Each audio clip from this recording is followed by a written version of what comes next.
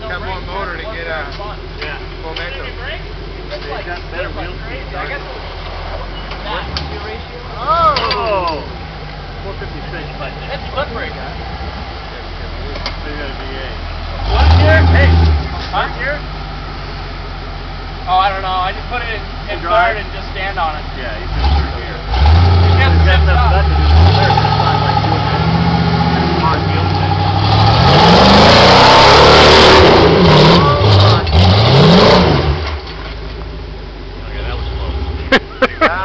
Close, because that's so much straight up right over there. Where's it gonna go now? Sucked in. You wouldn't really get fucking. No, you would've stopped it.